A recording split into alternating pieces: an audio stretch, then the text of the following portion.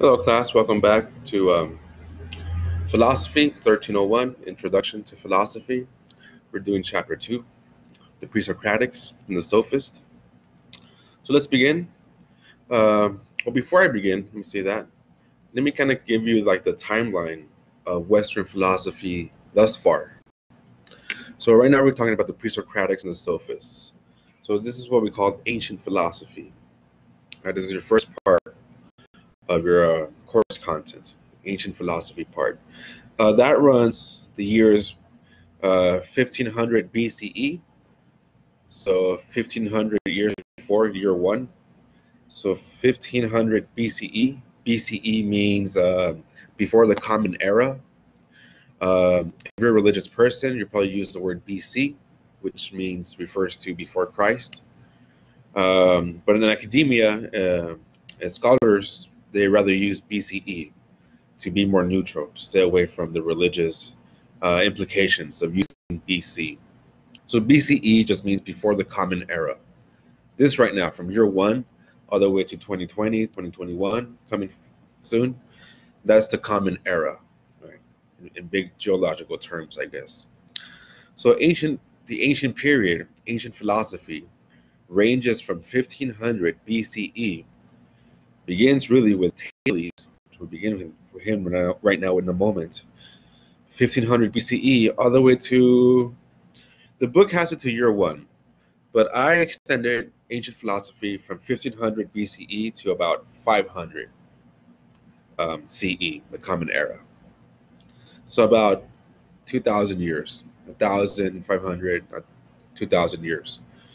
Um, really, uh, it's still it's still debate there's no like straight consensus of when the medieval period starts.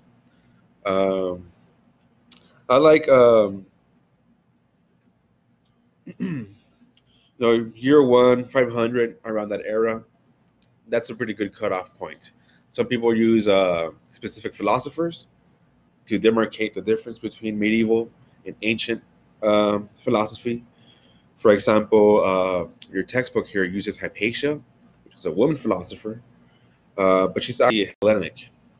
Not Greek, but she's Hellenic. Um, whereas some other philosophers use St. Anselm or uh, St. Thomas Aquinas to initiate the medieval period. But regardless, between the year 1 and about 500 CE, that's like the cutoff point between ancient and medieval. To be clear, when, you hear, when you hear the word medieval, sorry, um, you might think about like knights and princes and lords, exciting stuff, right? You know, dungeons and castles and stuff like that, dragons, shit like that, right? But medieval just means the middle period. That's technically what it means, medieval, right? It's just the middle period, middle between what ancient and modern philosophy or the modern period. right? So we have the ancient period or ancient philosophy. It ranges from 1500 BCE all the way between one year one or 500 CE. It depends on what you want to use. Some people use black, the Black Plague as a demarcation, so 349 will be a, a good cutoff point. Really depends on how you want to look at these things. But from then on, the medieval period all the way up to uh, just want to say 1500 Renaissance, 1600s, the scientific revolution. That's when the modern period begins. so yes, uh, Francis Bacon, right? when the scientific revolution initiates, or we're, get, we're getting rid of our beliefs in Christianity to explain the world to science. This is the scientific revolution, right? This is the Renaissance. Uh, Francis Bacon is a good philosopher to use as a cutoff point there. So about 1560, 1500, right? Da Vinci, Michelangelo, all those great Renaissance masters. And the modern period runs all the way up to the 1800s. So from 1500 to about 1900. That's the cutoff point. So the 20th century. Right? When you think about modern, you think about like maybe like the 60s or the 50s, right? 70s. But in humanities, in philosophy, history, etc., anthropology, when we talk about the modern period, we're talking about this specific period here from the Renaissance all the way up to the end of the 20th century. So from 1500 to 1900. That's the modern period. Now, the contemporary period, the period that we live in right now, the contemporary period, is from 1900, or some people use uh, the event of World War One, so 1911, right, all the way up to now as a contemporary period. Right. But there's different periods that we break up into philosophy: right? the ancient, the medieval, the modern, the contemporary. Right? And this is in your textbook. This is the, the, the back in the back flaps of the of the cover pages. Um, so, so let's begin with chapter two. So we're in ancient philosophy. This is the beginning of Western philosophy. This is not to say that people have not thought about these questions before. Ask why. Why does the world exist? Why do I exist? Right? What's my purpose? Why do stars exist? Why does the sun exist? Why is there earth? Why is there water? Why is why is there fire? Right? People have thought about these questions since the dawn of time. But in 500 or about no yeah about 500 what did I say? Let me give you an exact date. There's, there's no exact date because all we have is fragments from from Thales. But Massimino was around circa six, say five, 560, around 560, 570. Thales was beginning to be known as a very well known thinker. We didn't have the word philosopher yet back then. So, philosophy in the Western tradition begins in the 6th century BCE. So, when I say 6th century, is the years between 600 BCE all the way up to um, 501 BCE, 500. Uh, when you say the 19th century, we're talking about 1800 to 1900. Right? So just get that clear when we refer to centuries, right? So the 6th century BCE is from 500 BCE back to 600 BCE. 100 year span. That's the beginning of Western philosophy.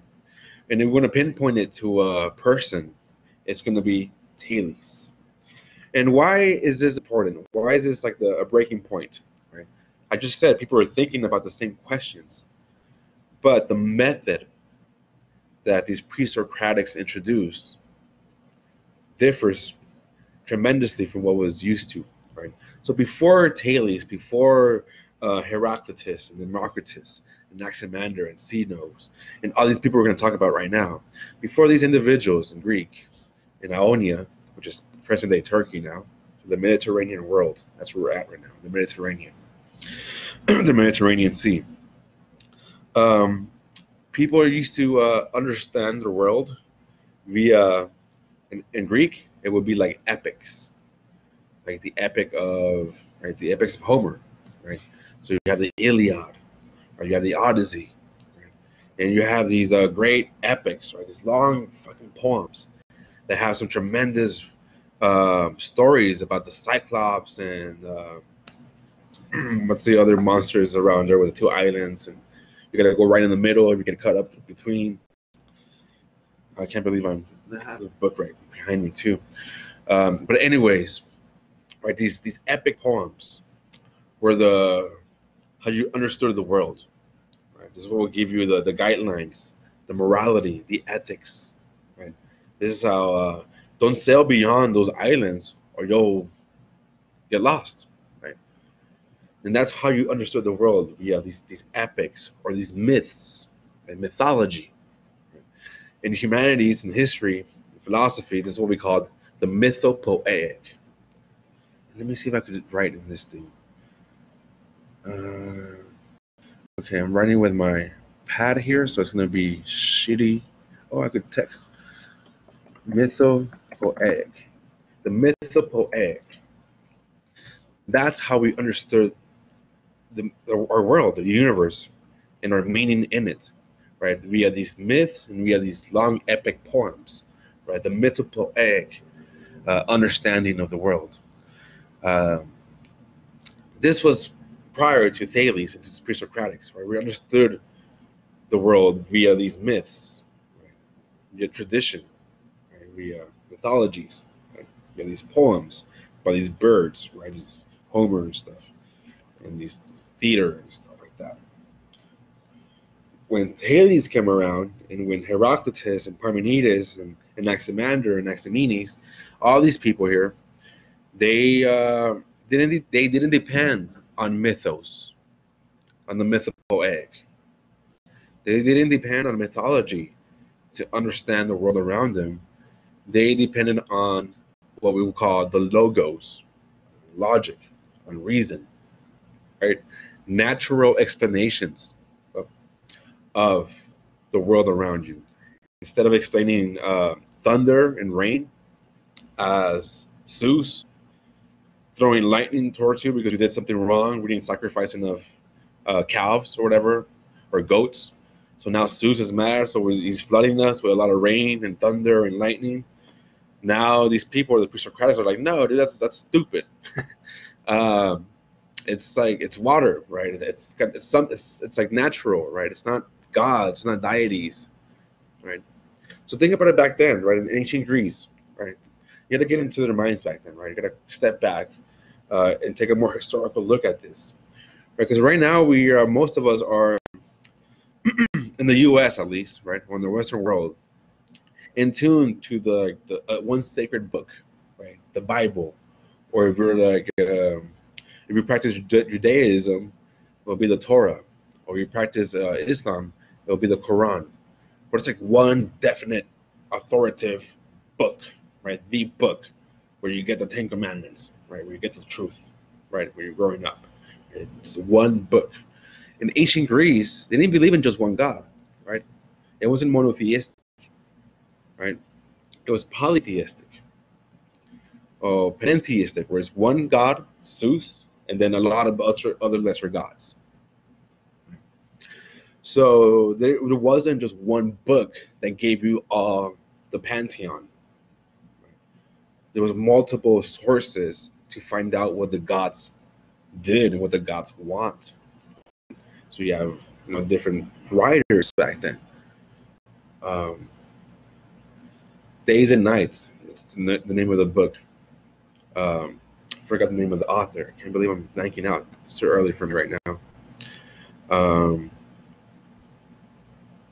and that's where you get like the the mythology of things of ancient Greece. Homer, you also get some mythology there. Right? So you get different you have different sources, different books that gave you guidance to tell you what the gods want you to do, how to comport yourself. It wasn't like just one Bible. Right? It's polytheistic, right? It's, so these people are like, no, don't don't depend on these stories, on these myths, or these pre-Socratics. Depend on your reasoning alone, right? Just think about what's going on: rain, thunder, and lightning. Right? It's not God being mad at us. It's just it's the season. Right? This kind of happens all the time in July and August, right? So if you think about it, guys, like this is this, this is seasonal, right?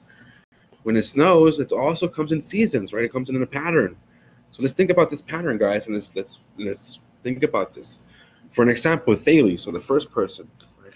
So let's basically what we're doing here is like let's re- let reason and experience guide you in discovering how the world is made up instead of letting tradition and mythology, this egg perspective, guide you in understanding the world, now these pre-Socratics are introducing the application of reason and experience to guide us through understanding the world, analyzing the world now, right? Through natural means, not through deities and gods. Now, just reason and experience, natural phenomena right? and so, for example, Thales, right? with reason and experience, he was able to predict an eclipse, a solar eclipse, and it totally fucking confounded, right? Dumbfounded the people in where was he from? Um, Miletus in Ionia, right? So Thales of Miletus, right? So in the city in, in the which is now present day Turkey, off the coast of the Mediterranean. Right? People used to like see a solar eclipse and freak the fuck out. It's like holy shit, the sun is blanking out. Right? It's going black. What's going on? Right? Zeus or somebody's super pissed at us. Day turns into night. What's going on? Right? And Thales was like, yeah, chill, guys. Like, chill. I got this. It's math. It's reason. Experience. Right? And he actually predicted it. Right? In a couple of months in, in advance when exactly a solar eclipse was going to happen. And that just blew people's fucking minds, right?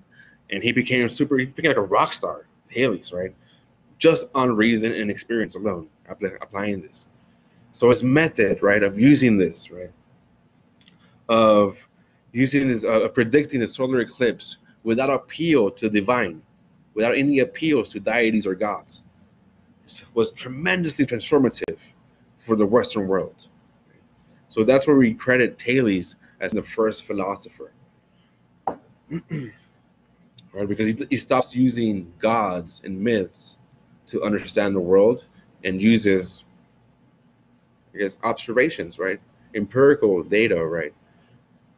Science, I want to say, right? The first scientist, the first philosopher is Thales. So this was in 585 BCE when he predicted that solar eclipse.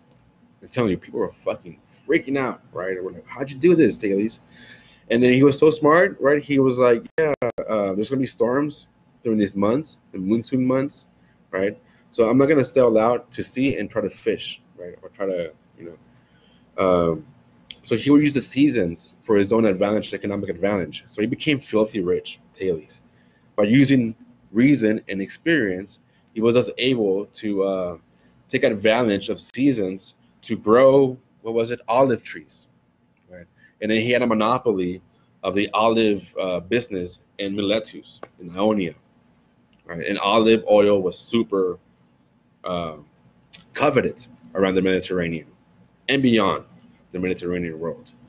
So he made a fucking banking out of just realizing when to drop a seed for the olive tree and when to uh, harvest it and when to press the olives right?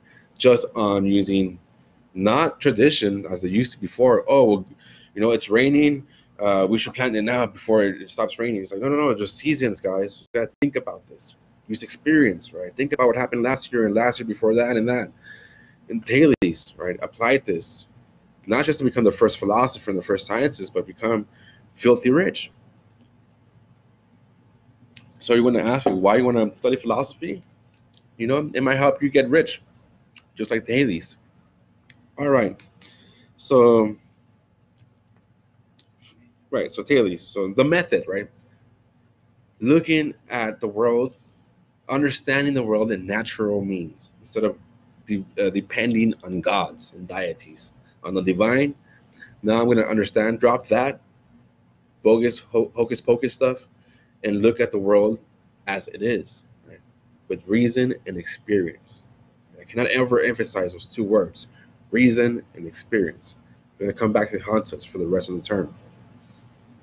So his method, right? Applying this method, right? This, this what do you even want to call it? Scientific method, right? This is a prototypical scientific method being born here in around 500 BCE or 585 BCE to be more exact, with Thales. Um, another interesting thing about Thales is that he believed that the world so everything could be explained by phenomena right? By elements. So before thales uh, some greeks that were more um, scientifically minded believed that the world was the universe was made up or the world was made up of four elements right? Earth water fire what's the other fucking one? Air. Earth fire air water Earth, Wind. It's a band, right? I should have named the band Earth, Wind, Fire, Water, whatever. Right? There's four elements: Earth, Air, Fire, and Water. There you go. Get this straight. Uh, and he believed so that was even the, the Greeks had before Thales. It was the four elements mixing together, or I don't know how, right? Co- combining together to create, right? Or each one in its own separate things, right? But Thales thought that the fundamental, right, the most fundamental element that makes up the rest of the other stuff in the world is water. He, he held that water was the source of everything that exists. And this is what the pre-Socratics were really, really um,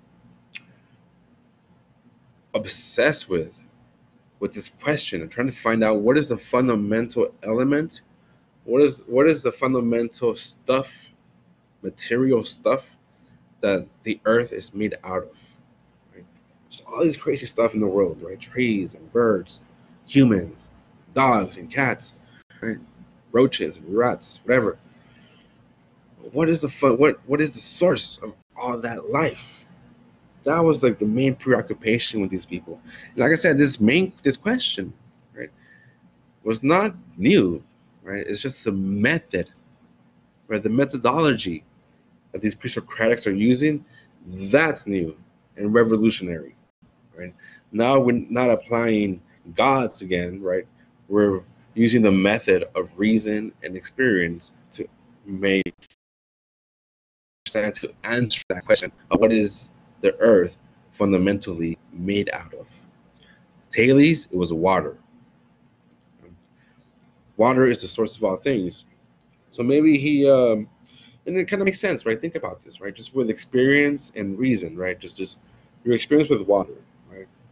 You guys ever been, um, you know, water, right? Without we're 80% water, right? Apparently we know that now. If you don't drink water, I mean you're gonna die of thirst, right? You gotta drink water, right? If water you do is drink soda or something with sugar, your teeth are gonna fall out, right? If water is so essential to life, right? And I guess you just notice that, right? Just via experience and reason. Like shit, everything needs water, right? Animals need water, plants need water, everything needs fucking water. So that that should be the source of life. Or maybe he saw, right, just with reason and experience, right, Thales, that water turns into different states, right? It's liquid, but if it's cold enough, it turns into solid. Or if it's hot enough, it turns into air, right? Vapor? And, and boils, right? It's it's it has it has that potential to turn into different kind of different states of being. So maybe Thales was like, well, that makes sense. Maybe that's why that should be water makes sense to be the source of life. So what I'm getting at is just he was just looking at things as they are. He was not depending on Homer or Let's see if I have this guy right here real quick.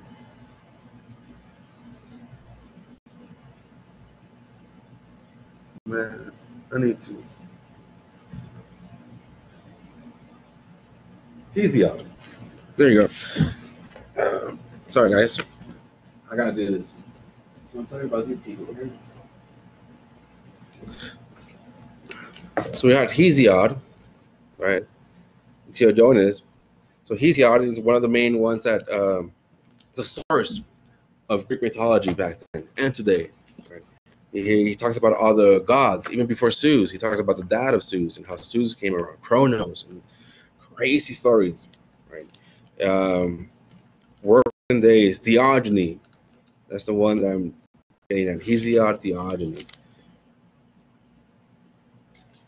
Read it. It's fantastically to read. It's not too. It's not too long. It's really short. It's about 60 pages or so, uh, and it's all about ancient Greek mythology. So you want to get the source of Greek mythology? It's Hesiod. Right? so uh, all these people, Homer, the Odyssey, right? gods, right? Gods control water, right? There's a god of water. Right? Is it? I mean, you've seen uh, Triton, right? We've seen the Little Mermaid, Triton, right? The god of the king of the underworld, of the undersea, right? There's a god of fire, right? There's a god of everything. There's gods for everything, right? And that explains every natural phenomenon. That explains earthquakes.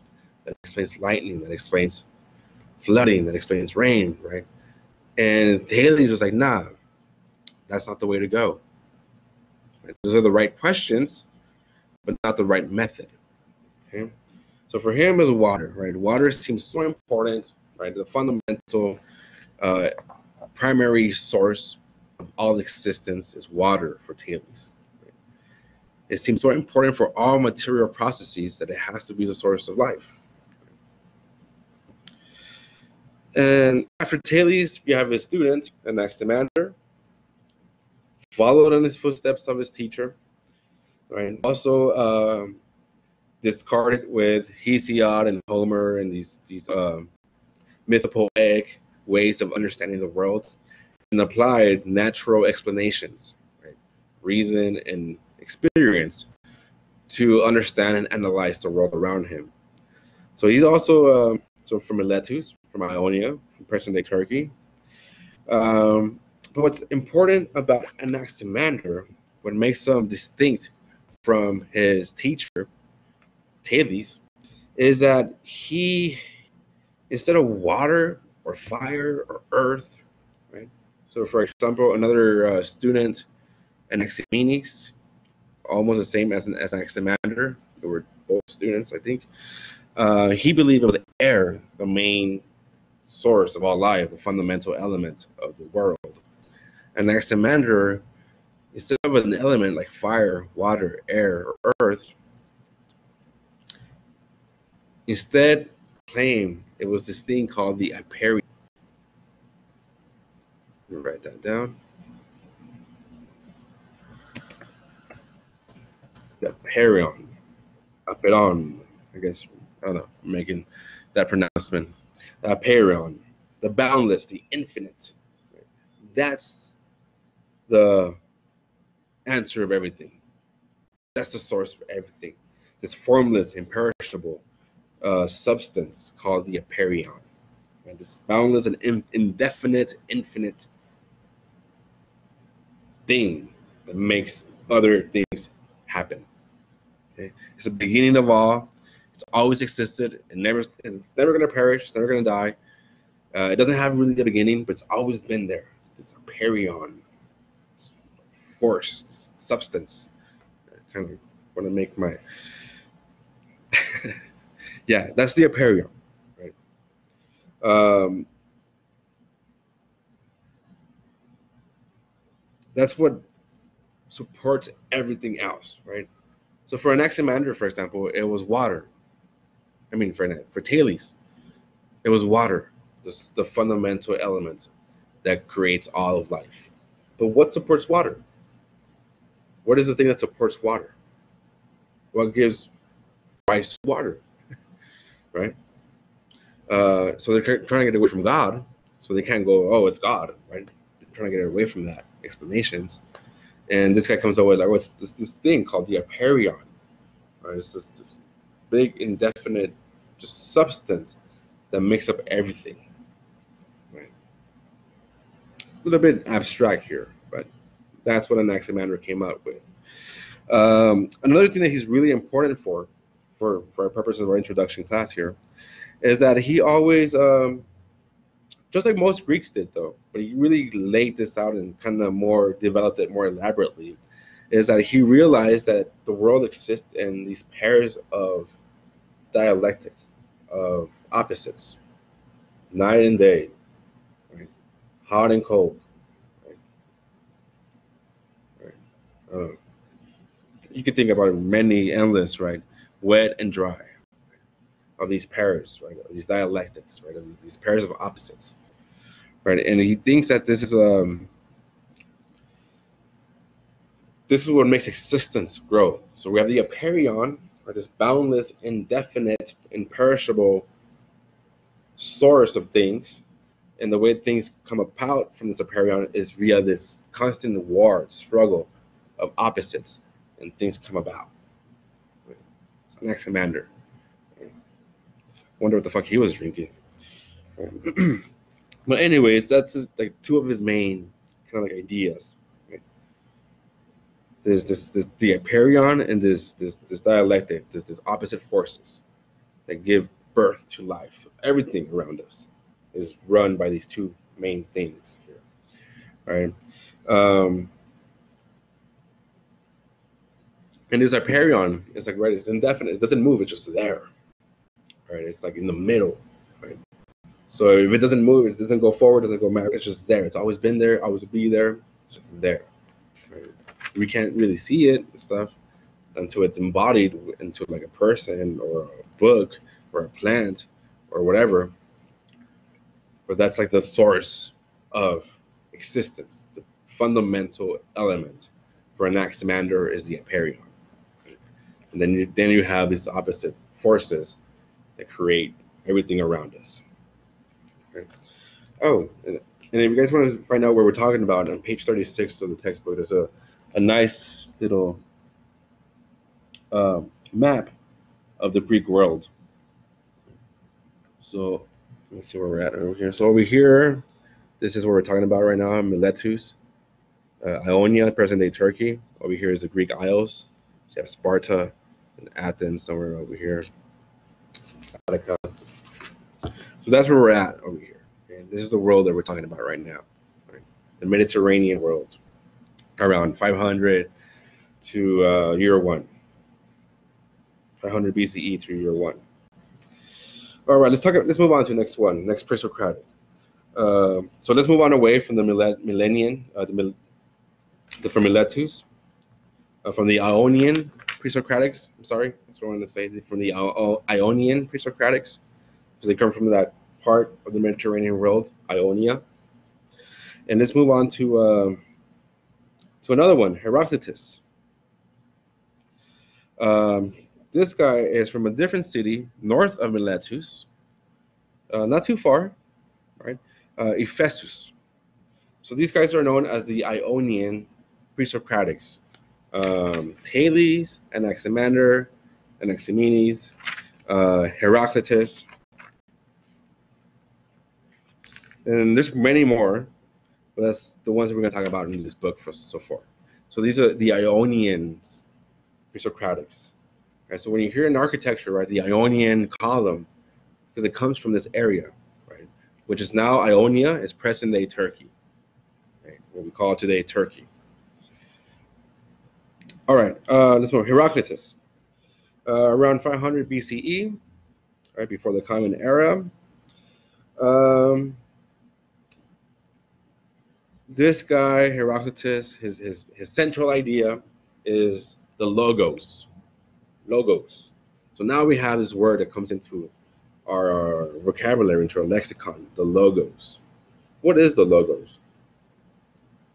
So the logo is not a logo, right? Like you know, like different um, brands have logos, right? Hell, a is a logo for a nation, right? Each nation has its own logo, right? Uh, no, that's not what we're talking about. Here we're talking about logos, right, with the S. So logos uh, according for Heraclitus, is this this law or this principle or this this, this order of the world. Right? It's this, this this this thing, this this that controls and runs the world. It's the logos. Right? That's in Eastern philosophy, which we'll talk about in chapter six. This is known like karma, right? The, the, the force that regulates the universe. In Western philosophy, we call it the logos. This is like the, the principle or the formula or the law that orders, that controls the way the world works. Right? Logos. Um, and I move like this a lot, right? uh, because he thinks, this guy Heraclitus, that everything is in flux. Um, this is one of his quotes. Most of these uh, pre-Socratics will only have fragments or words taken from other philosophers that have studied them. Most of their original works are just lost to history, or just little small fragments, right? So for Heraclitus, for example, we have a little bit of epigrams, short little, clever little snippets, and then very little. Although he wrote a lot, right, and he was highly influential, we just have a little bit of snippets here and there, fragments. The rest that's filled in, the information that we have about these people, is via other philosophers like Plato or Aristotle that talked about these pre-Socratics. So you could argue that we really don't know who these people are because we really don't have direct evidence from their time period. Right? Small little fragments, that's it, right? and archaeological evidence. So it's still, you know, this, this area is still very alive in debate of who they really were. Who was these people? Who were these people? Anyways, Heraclitus, right? The logos, right? Everything's in flux. This is one of his, his fragments. All are in flux like a river. All are in flux like a river. And this been um, this been interpreted or rephrased like um, like this. You cannot step twice into the same river. All are in flux like a river. Right? So think about that. You're in the river, right? Never been to the banks of the Rio Grande. It's just right down the street here for me. Um, if you're not harassed by the border patrol and you want to chill there, right? Go to the banks of the Rio Grande or go to New Mexico, where it's U.S. on both sides, right? Go towards Mesilla or whatever, and you know go off the road a little bit and go to the banks of the Rio Grande. It's beautiful. It's majestic, right? It's the reason why they call it the Rio Grande or the Rio Bravo, especially if you go more northern up, right towards like Taos, right, New Mexico or something. Anyways, um, you cannot step into that same river twice. It's the same Rio Grande, the same Rio Bravo, but once you step once, you step out, you step again, it's not the same river. Why? Because the water is constantly flowing, right? It's not the same water. It's not the same even fish, right? It might be a different whole fish or a school of fishes that swim crass again, right? So if you go to the same river, it's not the same river. Why? Because everything's in flux. And this is this idea, right? This logic, right? He just come he, he thought about this, right? and he experienced a river many times. I'm, I'm sure Heraclitus, right? They live over there by where the sea is at. Uh, and he was he thought about this, right? Experience and reason, right? Introspection and experience. He was like, you know what? Everything's moving just like the river. That's life. And he's like, aha, this is life all around me. Everything's in flux. Everything's moving. Everything's movement, right? But underlying this movement, this flux, right, of things, there is the sameness. Right? So think back about the apeiron, something like that, right? So there's the apeiron that doesn't move, that's indefinite. It's always there, but from there it springs out, sprouts out life. For uh, Anaximander, it was it was in the form of these opposites forces. For Heraclitus, right, you have these logos, not the apeiron no more, it's the logos that controls everything it's, it's always the same. And from the sameness, this logos comes right? life, what we know as life. Right? So everything's ever changing. What unifies us is what, what he calls the one. Let's put it that way. He puts it that way, actually, actually Heraclitus. Right? The one. Right? And this is the logos itself. I hope you guys are following. This it's pretty out there stuff. the sameness, the sameness unifies all the motion that we see around us, behind, underlying all that motion around us. I just saw a bus, some metro bus by, pass by. That motion, right? Underlying that motion, there's the sameness, right? There's this logos that controls and orders the world. Right? I think that's pretty powerful stuff it really aligns really well with uh, with Hinduism. This Heraclitus guy in Anaximander, and I'll talk about that when we get to chapter six, though. About the Atman and the Atman and, the, and karma and moksha and stuff like that. But that's chapter six. But anyways, right, this guy Heraclitus, just like Anaximander, right, influenced by this guy, obviously, right. All things come into opposition right? this this this this flux, right? This motion, right? It is based on strife. It is the strife and necessity that make life happen. Uh, and the logos is that is what ensures this strife, right? This necessary strife to balance, to to har- harmonize, right? So you have night and day, and they're fighting for supremacy. right? And then you have the logos be like, no, chill, guys, 12 hours and 12 hours. You have night, day, night and day, Theoretically, right? Or you have hot and cold, right? Or you have summer, you have winter, right? And for him, right, for, for these people, it's, it's a battle. And then you have the logos to harmonize these things, right? I see this. That's it's working for for Heraclitus. So thus, behind all this change, right, whether it's hot and cold, night and day, seasons, or whatever, us, behind underlying all this change, there is a logos, the sameness, right, the one, right, the logos. Right. And from this, right, from this moderation that the logo does in the universe, we could extrapolate how we should guide ourselves, how we should comport ourselves, i.e., in essence, ethics. Right? So from this idea of the logos, we're able to extrapolate, or Heraclitus is able to extrapolate and claim how we should comport ourselves, morality and ethics. Right? So since the logos steers all things, harmonizes all things, right? And it operates with this divine thought, as he says. Right? We should strive to maintain this harmony as the Logos does as well. We should strive to emulate the Logos in its way of harmonizing strife, of harmonizing the opposite forces. Right? Moderation, he says. This is, a, this is a fragment from Heraclitus. This is of your textbook here, okay, page 37. Moderation is the greatest virtue, and wisdom is to speak the truth and to act according to nature, giving heed to it. Here, nature is, of course, referring to the logos, right, to the one. So give, give heed to the logos and act according to the logos, right, harmony, moderation, right, moderate between two extremes, forces. So Heraclitus, right. Let's move on. I really get really excited about this stuff, so I could talk about forever about this. Right, you guys catch me at a bar. Well, right now everything's bar. They're all, they're all closed down, but back in the day, you catch me in a bar, you get me drunk. I'm talking about this forever. I love talking about this stuff. All right, let's move on to um, Empedocles. Um, I'm not sure where he's from. I should have looked that up.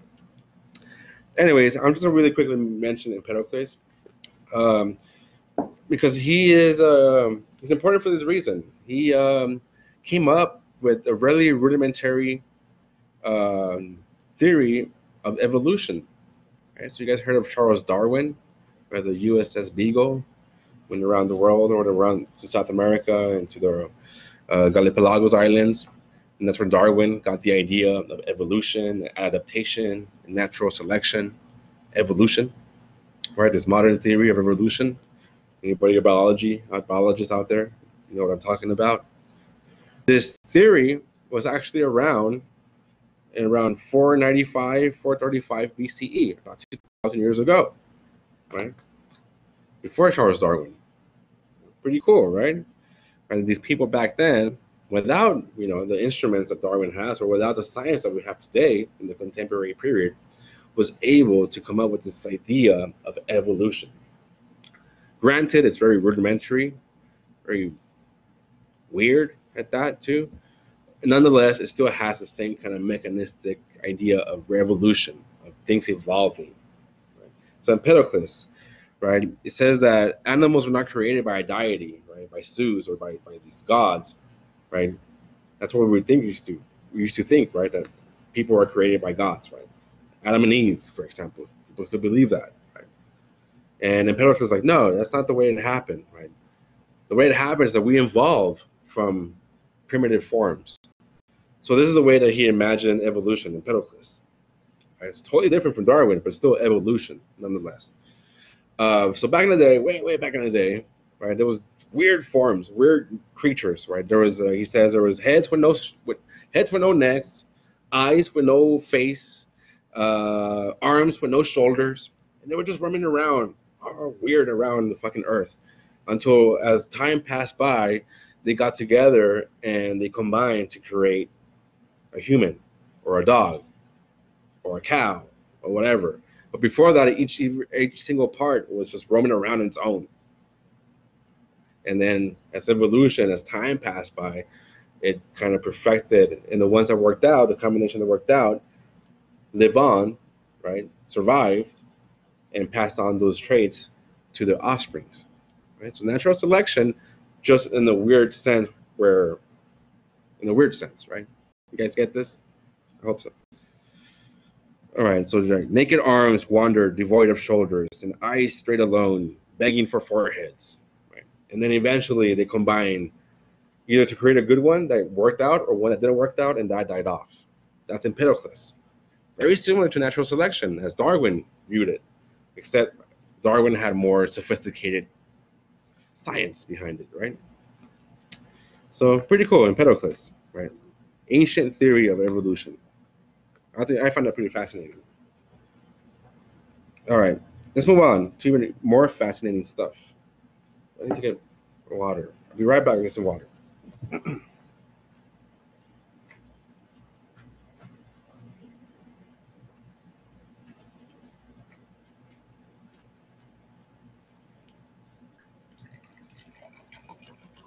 Yeah.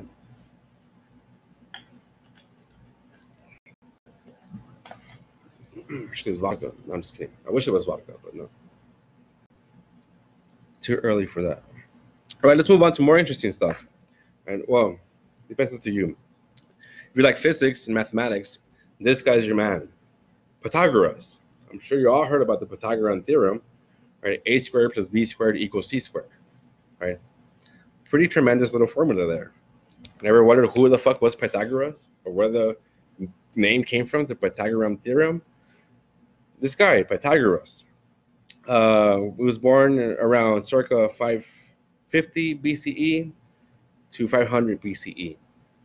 Um, super famous back then, tremendously influential. Even today, we still use the Pythagorean theorem. We still use a lot of his ideas, as a matter of fact. So he's from Ionia.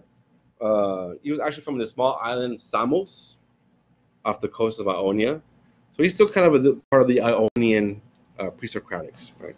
But there's this uh, island off the coast of, Ionia, Samos. Um, pretty small island. Um, beautiful if you ever have a chance to go over there. Um, Asia Minor, we call Asia Minor now. Anyways, uh, it's actually off the coast of Italy, Samos. I'm going to show you the map, but show you the map. So where it's at. Oh, this map doesn't have. Oh, right here.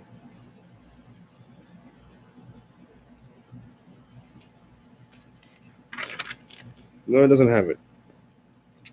Anyways. So Samos the coast of Ionia, and then he, he went off to Italy. So he traveled from Ionia across the Mediterranean to Italy. I'm sure Samos, Samos got to be there in the fucking map. Oh, it is. So, Miletus and Samos, that island right there. And he went all across to like Italy over here somewhere. You, follow the map there. Anyways, here, um, Pythagoras, fucking fascinating guy. So Pythagoras believed that numbers were the all be end all be all of the universe. The way to find out the secrets, the mysteries of the universe is via numbers. Numbers are going to give you everything you need to know about the universe.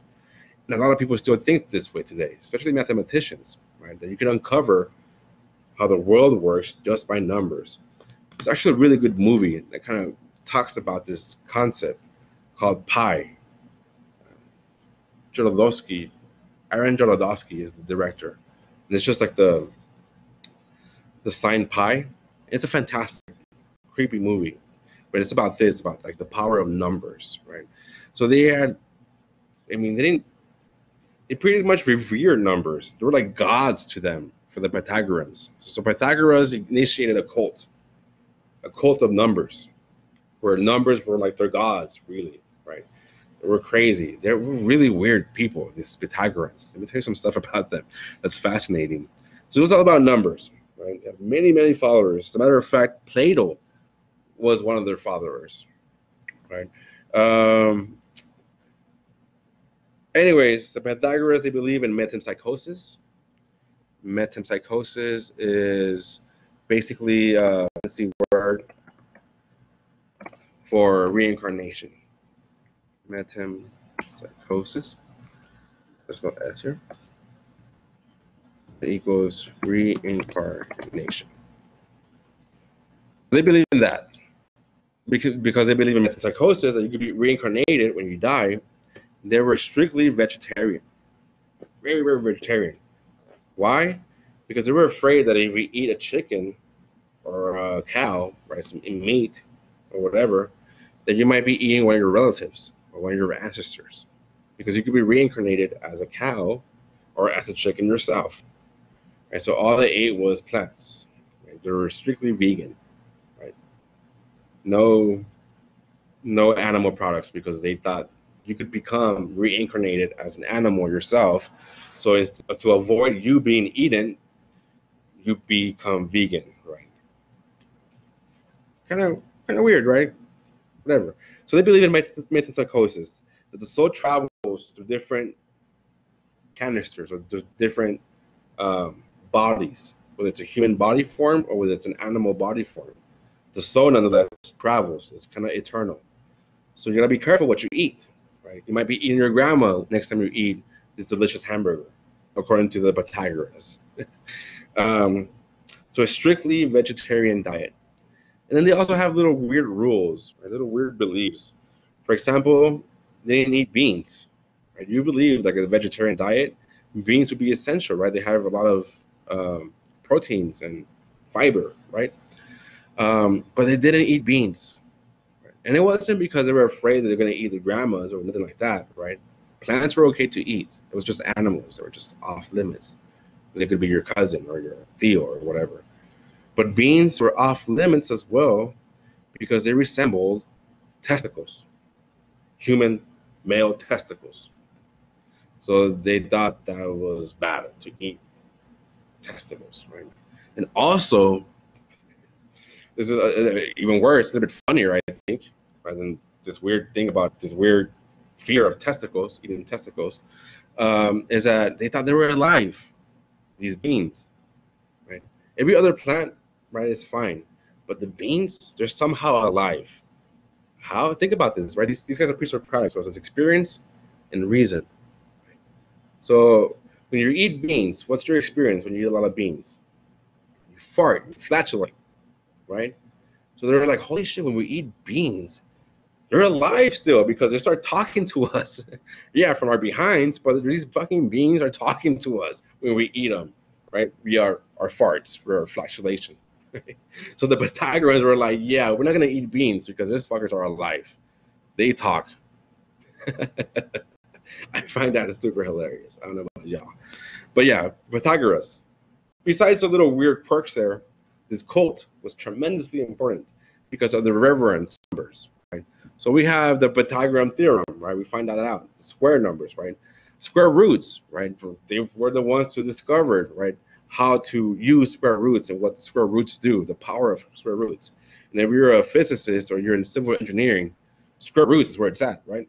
Um, what else did they find out? Um, they had Pythagoras had this beautiful idea. So I also play guitar and and um, bass. Um, so I believe uh, I, I, love music, right? And Pythagoras had this beautiful idea that it's called the music of the spheres. The music of the spheres. So the basic uh, concept here is that the planets and the stars are aligned and they move in a certain way in our galaxy and our universe, uh, and we could see them, right? We might not be able to pinpoint exactly what they are, but we could measure their alignment as as the season moves around, right? As we move around the sun, whatever. Um, people were aware of that, uh, and we could get like ratios behind between the distances between these spheres, right? So back then, you didn't, didn't know there was a star or or a planet. There were just spheres back there out there in the sky. So the ratios of the distance between the spheres, you create this heavenly music, right? It's the music of the spheres, right? And it's supposed to be like the most beautiful music ever and stuff, right? So that was their idea. And this was brought down to musical scales, right? The reason why we have musical scales and they're based on numbers, really, right? The distance between notes, right? It's one note and you skip a note and you hit another note. And you do that along, you do a scale. You have a musical scale. Ionian, pentatonian scales, right? If you're a musician, you know this, right? And there's differences. It, it all, the scales all depend on the distance between notes, right? they, these Pythagoreans, discovered that that the ratios, right, these, these musical ratios are the ones that give us the scales, that give us harmony, that sound good, right? So if you're a musician, you first gonna learn notes, and then you learn scales. And scales sounds really beautiful. They're the right. If you have the right, you mess up right in the scale, you could tell right away that's the wrong note. You have to hit the right note. It's got to hit the right ratio of distance between notes. The Pythagoreans discovered that. It's fucking cool. I think it's fucking cool. All right. So besides their weird cultish behavior about beans and vegetarian beliefs, they're fucking cool people. I mean, vegetarians are fucking cool people. I mean, I think we should all be vegetarians. But I do love me some fucking barbacoa tacos, They tripitas. So, anyways, that's my fault. Uh, so numbers, right? Square numbers, square roots, odd and even numbers, right? The patterns of those, the musical scales, right?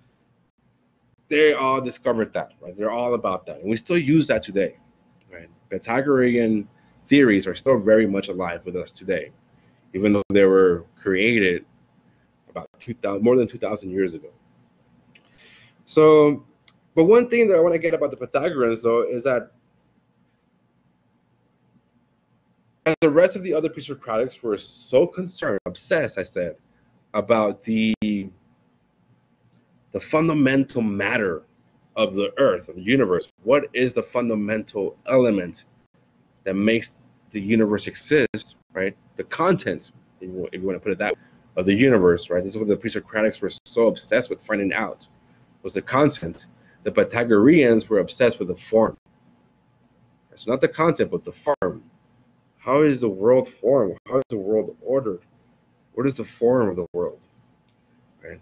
Numbers, I thought, was the answer to figure that out.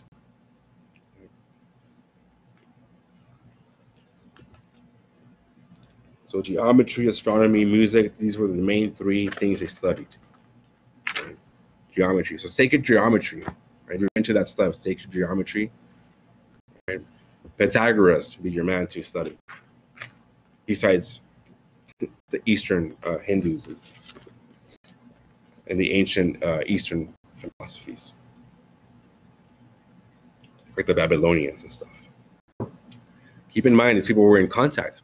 This is the Mediterranean world. Right, right now, I'm kind of isolating them as just Greek and Ionia. But be, be, below the below this map here, right, you have a whole fucking world. Right? We're gonna have Egypt back down here, way down here. You have uh, Algeria and Africa down here, and the Middle East down here, over here. Oh, I guess oh, it's up and down. It's this way.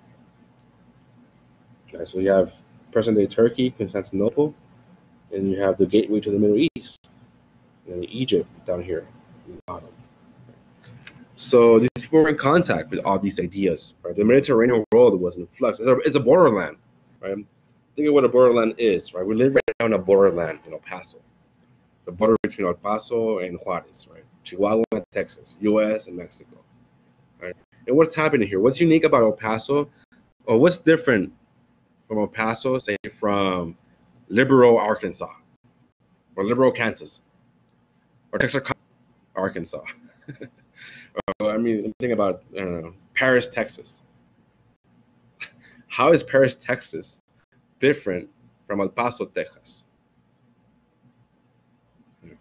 The fucking culture, right? Everything. There's a lot of things going on, right? There's a, this clash is going on here, right? Sometimes it's violent, right? There's cartels, you have the border patrol, right?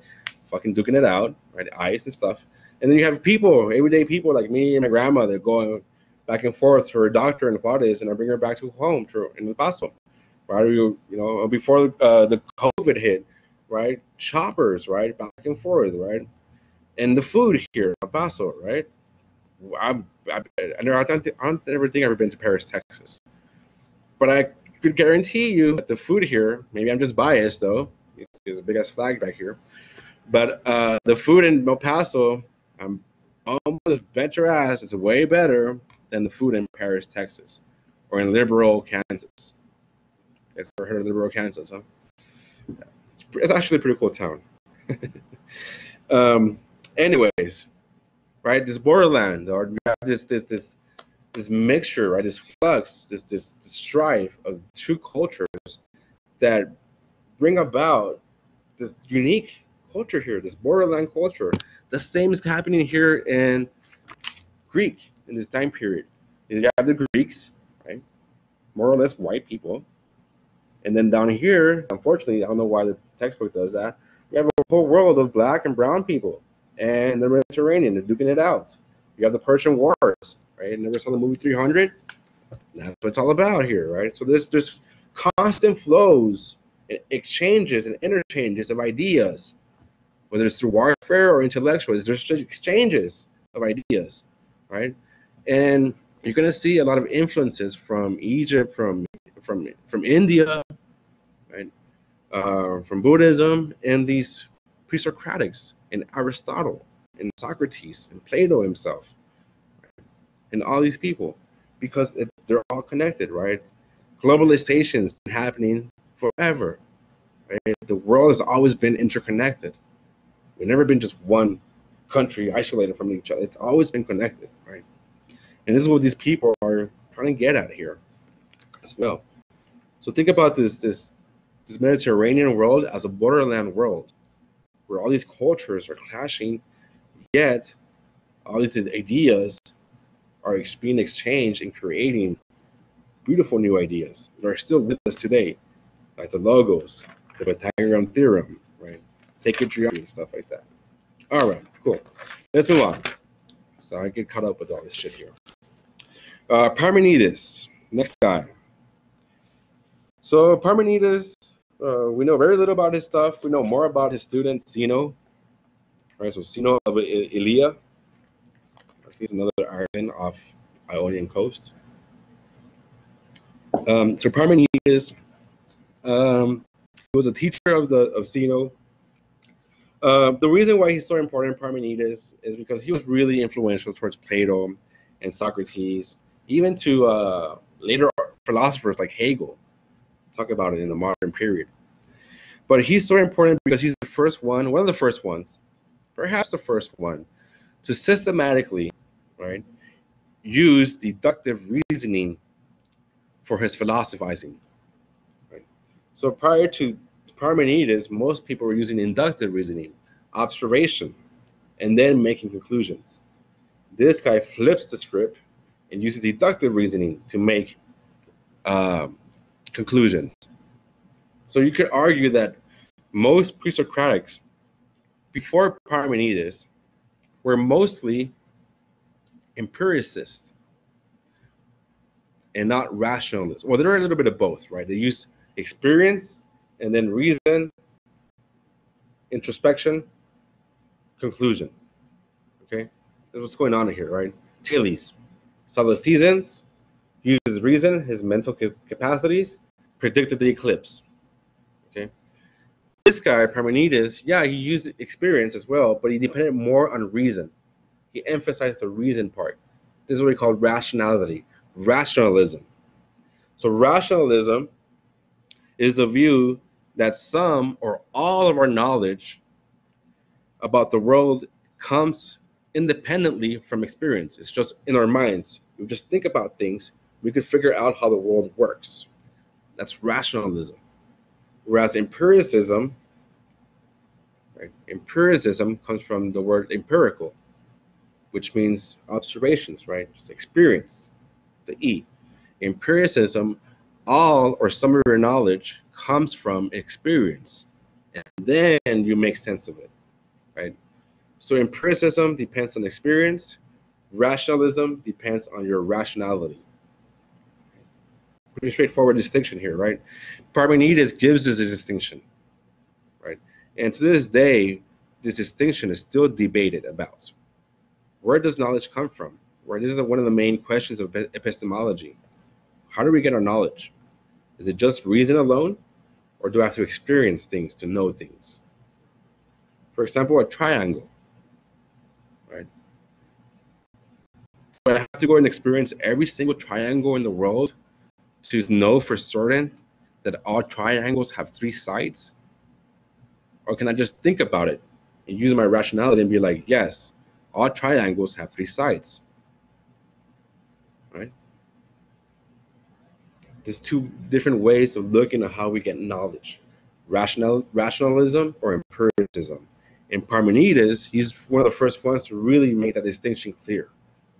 And this distinction has been cursing us, right? Has been plaguing us, philosophers, since 515, 450 BCE. All right, so Parmenides, like I said, he put more emphasis on rationalism. So he's credited, he's given the name as the first rationalist philosopher.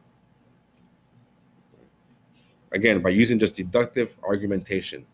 So deductive argumentation goes with rationalism, using your minds and coming up with conclusions. Whereas inductive argumentation goes really well with empiricism, where you gotta go and see stuff and observe stuff and experience stuff and record stuff, and then you come up with your conclusion. Right? Empiricism really is the the name of the game for science, or most science, right? Or physical science. Another distinction that Parmenides is important to know about is the distinction or the contrast between reality and appearance. Right? So he believed that everything that we hold to be true, right? We are just common sense, we are just inductive reasoning, right? We are just our experience. We are empirical data, our sense data, if you will, our senses, such as movement, right? Change, uh, multiplicity, diversity, uh, and our sensory qualities, right? All these things that we kind of take for granted as being just obviously real, right? It's it's obviously real that it's going to change from from hot to cold when it rains or when it snows? For Parmenides and then for his student Zeno, this change, this movement, this multiplicity, this diversity of stuff is an illusion. It's an appearance. It's not really real. All these things are illusions.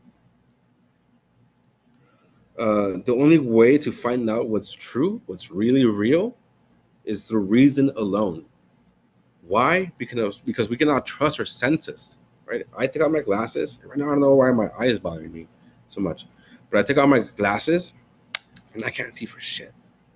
I'm blind as a bat. Right? So I can't trust my senses. Right? I can't say for sure like that the color of my couch is gray. Well, I guess it is because it's just a big gray blob, right? But if I put my glasses, I could see the details and the texture of it now. So because of that, right, Parmenides is like, yeah, maybe everything we see and experience and touch might be just an illusion. How do we know for sure it's not real? The only way we can know for sure what's real is via our reason, right? Reasoning reason can reveal the truth. So let me kind of explain how Parmenides got to this fucking crazy conclusion that everything is an illusion, basically. So it goes like this, right? So change, movement, right? When something moves or when something changes, right? So when I move from here to here, right? I am no longer over here. I was there. I was here. I was this. I was that. But once I move, I no longer that thing that was there. So I'm talking about something that's not there no more. But according to Parmenides, it's impossible to talk about what is not. Because when you talk about something that's not there, something that, that what is not, um, something that cannot possibly exist, right? You talk about nothing. Right? When you talk about what is not, so I moved out of the screen.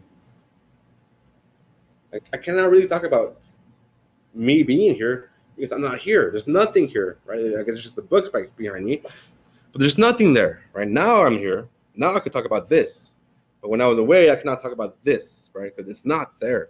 Nothing's there. It's impossible to talk about nothing. So when you talk about what is not there, you're talking about nothing. You're just talking about just nothing. And what has changed then, right? Follow me here. What has changed? What is movement? Going from what is to what is not, to a different thing, right? So change suggests, right, going from what is to what is not. And that's in itself is impossible, says Parmenides. Thus, he concludes that change and movement is thus just an illusion because it's impossible. It's logically impossible. This is what we call a paradox. And when we see something changing, right, we, are changing, and I can move, and I can talk about this movement. But he says, like, but when we change, logically speaking, we're talking about something that, that is to change into what is not. So right now it was uh, I started I started like 11 and going on forever here. Right now it's 10:55. Right, I started off like at 10:15 I think or whatever. I don't know the fuck time I started. I lost time. Let's try to time now. But now it changed, right? So it's not this no more. I cannot talk about what's past. I cannot talk about what's not. So that's why change is not possible, logically possible. So it has to be an illusion. Um, if you want to get more into this, I strongly suggest you to YouTube, right? Zeno paradoxes. So go to YouTube and put Zeno's paradoxes, and you have a little bit of in your textbook, right? Zeno's paradoxes, Z E N O's paradoxes. To understand this this view here that everything is an illusion. Pretty controversial stuff here, I must say. So if everything is illusion, so how do we know about how do we make sense of the universe? Again, he also believes in the, the one, as Heraclitus did. Right? He has this thing, the one, that kind of supports everything else. Even though, but to get to that one, we need to use reason to break through that, to access that. There's like a gate there. And if we just use our senses or empirical, inductive reasoning, we're not going to break that gate. We need to have reason to open up that gate, right, that epistemological gate, to access that epistemology of the truth, of the one. All right, let's move on, I'm taking forever here now. Democritus, this is the last uh, pre-Socratics, and then we'll talk about the sophists. Democritus. So Democritus, really quickly, really important. Why? Ancient atomism. Just like Empedocles had ancient theory of evolution, this guy about 2,000 years ago thought about the world as being made up of these tiny indivisible little bits of material they called atoms. And these atoms, they combine and they disperse to create and to decay life. That's how life comes and dies. Because little bits of little bits of matter called atoms combine together to create a human being. And when I die, those atoms just decay and disperse, and they go back into the earth or back into something else to create a tree or create a bird or something else. But everything's made up of these atoms, these tiny little atoms. Um, and it moves rapidly, right? These, these, atoms in this void, right? And this, this apeiron type thing, right? This, this the one. And so there's like this apeiron, this logos, this this one, like background material stuff. And these atoms move all rapidly around there and they collide and they combine to create life. Or they disperse and they create death. Right? That's democritus this ancient theory of atomism. Of course when the christian we lost this we lost this stuff here. In the medieval times when the christianity became the authority of philosophy and they practically tried to destroy this ancient atomism it completely goes against the creation story of Christianity. Another important thing about Democritus is his distinction between the, or his idea of the void. Void means nothing. But for him, it's not just nothing, it is something. It's just it just has nothing in it, right? It's not the same as nothing. Right? Here the void is a space that does not contain objects or things, but it nevertheless is is something. This is the void, right? Think about the apeiron logos, right? Going on the same kind of strand there, just a different kind of term and a different kind of uh, conceptualization of that. This, this this void, and out of this void, these atoms kind of just flow around everywhere crazily, and they they vary in size and shape and organization, and that's what gives rise to different life forms, different configurations of these atoms give different life forms. Right? So for Democritus, the world is mechanistic. It's a machine. It's gonna, it has it has different nature has different certain configuration it's gonna fall into. Okay? Nature makes them happen that way. And what's really cool about Democritus is that this basic insight about that matter is made up of these fundamental indivisible units, right, whether it's quarks or electrons or atoms, right, is yet to be refuted. We still use that idea, right? Now it's more precise and more fine grained, but that basic idea that matter is made up of these indivisible, indivisible little units, we still use that today. All right, let's move on to the sophists, right? So Protagoras and the sophists. This is the last section of this long ass fucking chapter. I just get so excited about talking to this stuff. And then, you know, I'm sure like you guys, if you are quarantining, you're, by yourselves and stuff. So when I have a chance to talk, I get all excited, right? So bear with me, y'all. So Protagoras and the Sophists. Hmm. So Protagoras is one of the most famous of the Sophists. And what the fuck is a Sophist? You might be asking yourself now. A Sophist, uh, in today's world, it has a really bad uh, connotation. A sophist is one that indulges himself in sophistry. And sophistry is just uh, this uh, using rhetoric, uh, using emotional persuasion, uh, even argumentation, logic, not to find the truth, but to get your own way, to persuade. So remember in our last lecture, we made a distinction between persuasion and argumentation. Uh, the sophists all they care about is not the truth, not, not, not arguments for the, for the sake of the truth, but arguments and, persuasion, both together, and they use it masterfully. They're really masters at using these two, two things, arguments and persuasion, to get your way. Or like one of the sophists says, um, I, we can make the weaker argument stronger.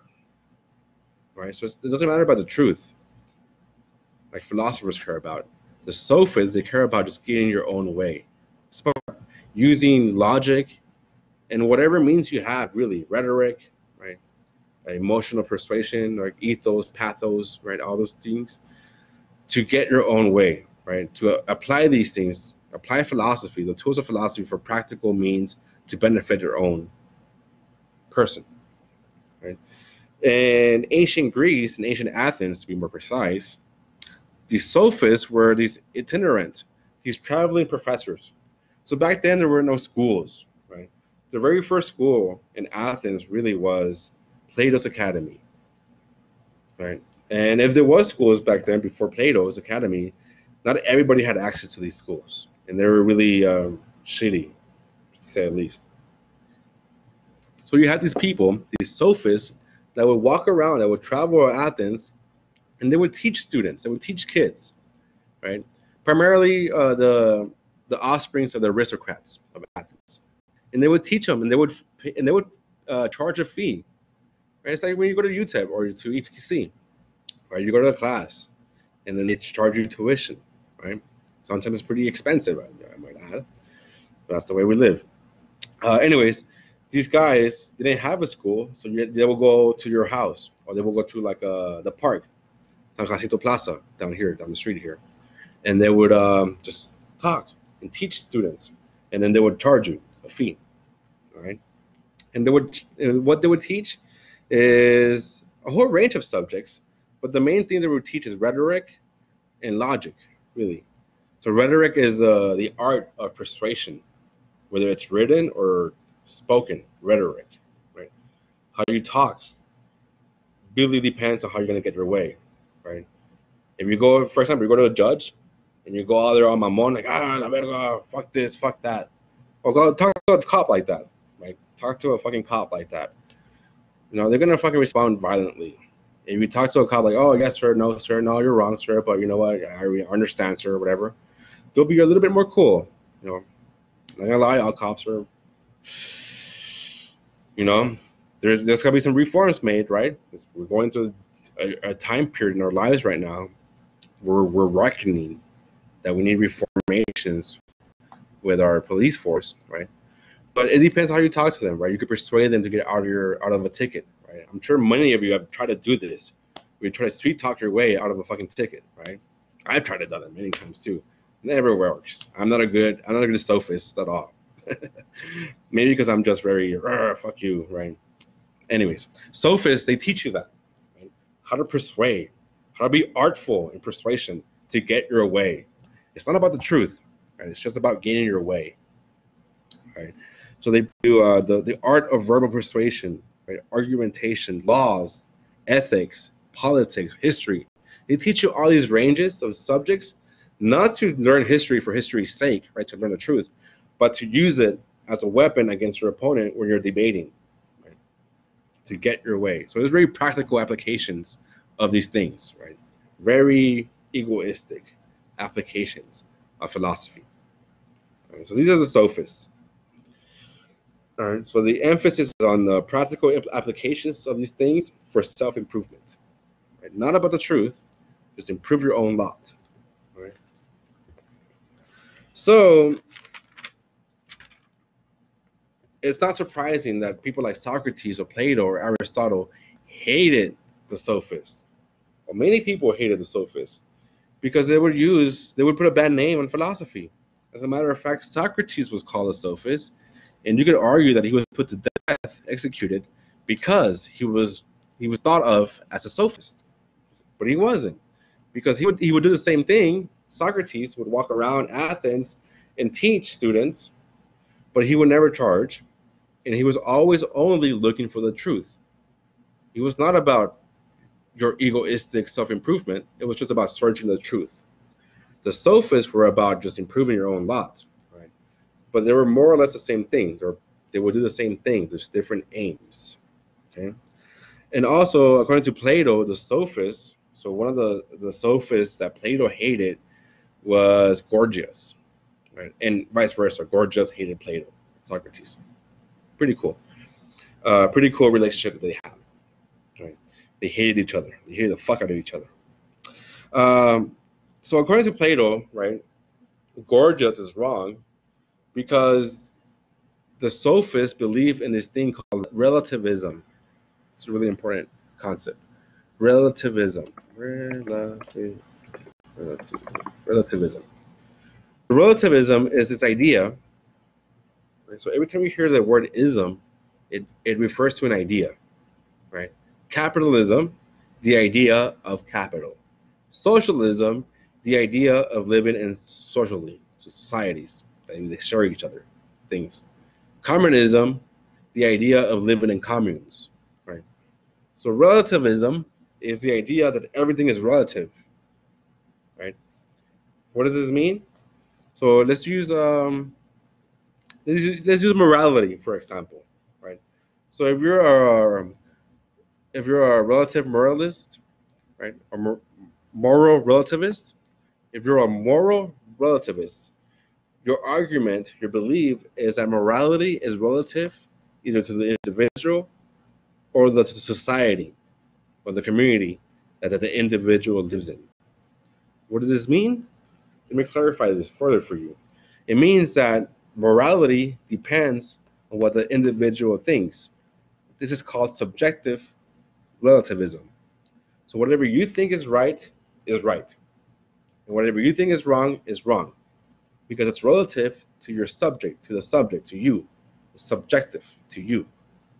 Right? So if I think that uh, drinking beer at 10 in the morning is right, then I'll drink some beer. It's not water, by the way. But if you think it's wrong, then it's wrong. And both are right. Nobody's right or wrong, right? It's relativism, right? It depends on each person, right? Or let's take this to another notch, to what we called, um, what is it called? cultural relativism. I gotta stop this lecture pretty soon. Cultural relativism. So it's relative to the culture. So if your culture says that killing people is okay, then killing people is okay. Right? Think about the Nazis back in 1930s Germany. Right? For them, it was it was law. It was the law to kill Jews and gypsies and homosexuals and mentally mentally in, mentally uh, incapacitated people as well. That was the law, right? Because they want to, right, eugenics, whatever they believed in, right? That's what Hitler ordered, and Hitler was the Führer, and that was the law, right? Go kill, gotta kill Jews, exterminate the Jews, right? So if you're a cultural relativist, that is fine. That's morally okay, because that's their culture. It's relative. Morality is relative to their culture, under this view here, under this idea, right, of relativism. And that's what the sophists espoused, right? They didn't care about objective truth. They just care about manipulating arguments to fit their own needs, right? So everything is relative to their own self-improvement.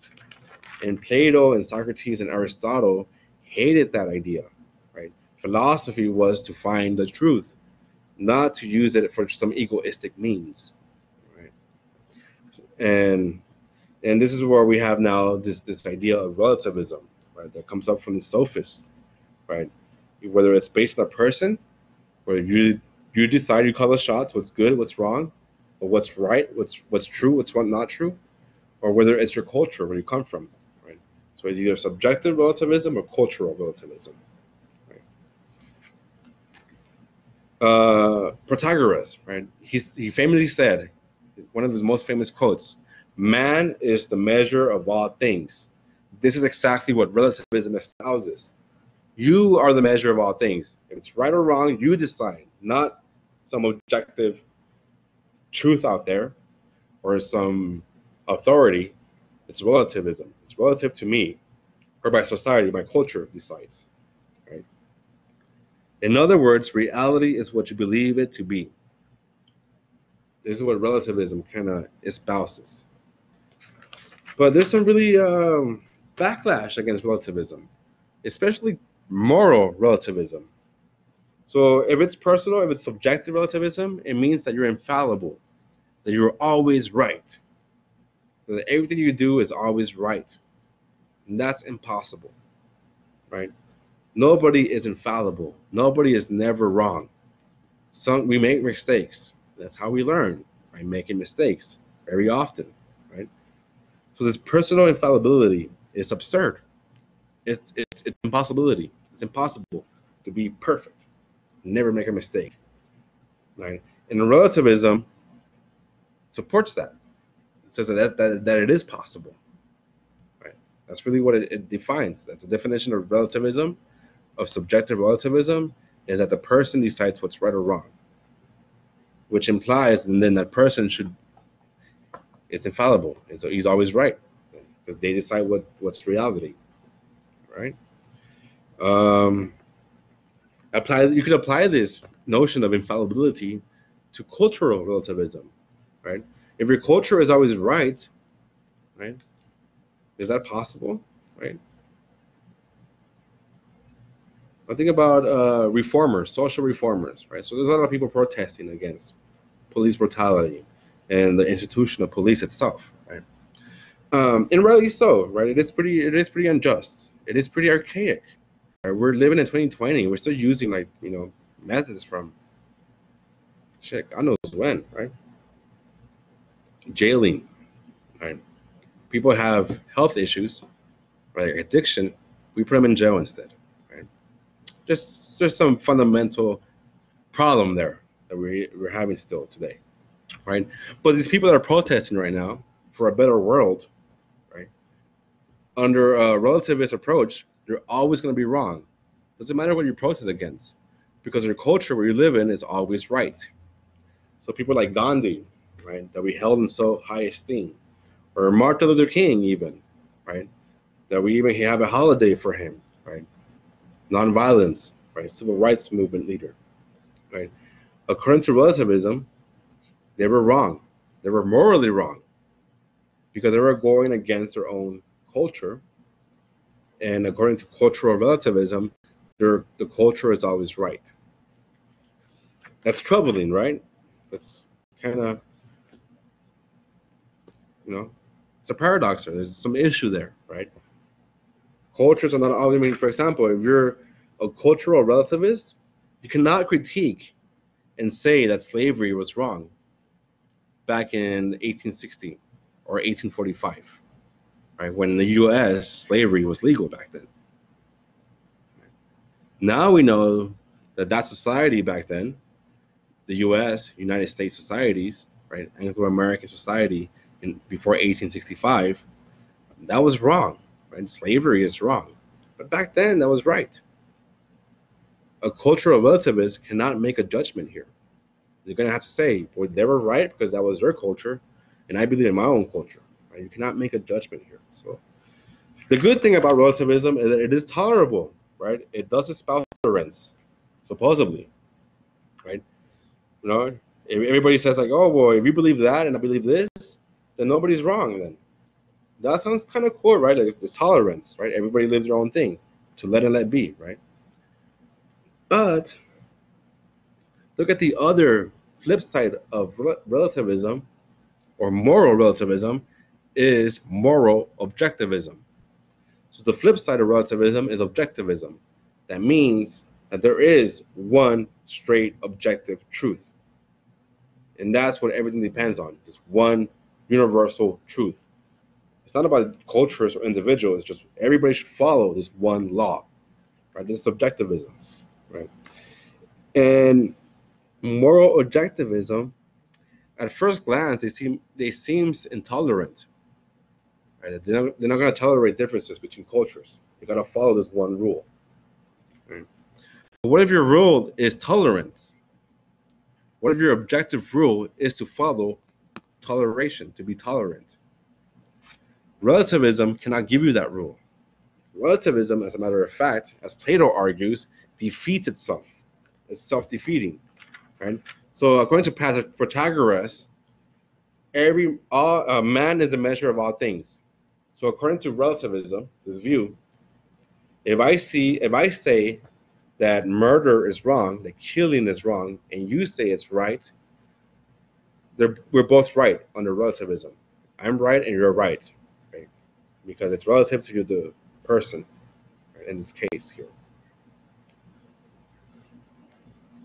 There's something wrong with that, right?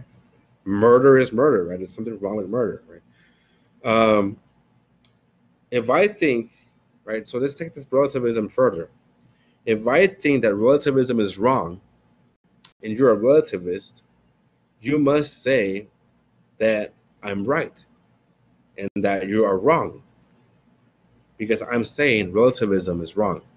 But you're a relativist, so you must accede or you must give me and say that I'm right too. And I'm also right. You guys get that?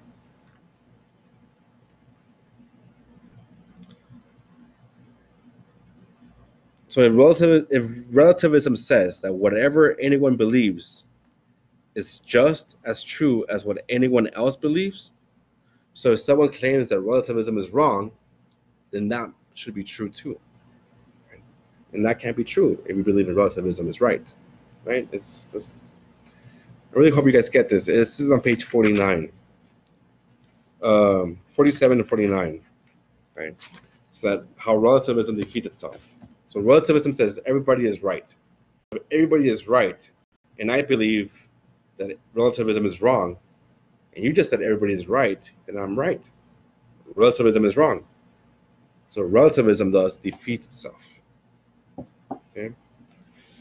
All right. That's the end of this longest fucking lecture. But anyways, uh, I just want to uh, point to you to uh, keep up with the discussion boards.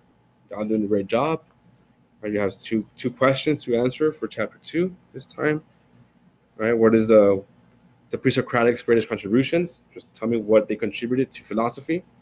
Okay, and then subjective relativism, what I just talked about. Do you think it's true or do you, you don't think it's true? Right. So all right. So again, thank you so much. You guys stay safe, and we'll see you next time for chapter three.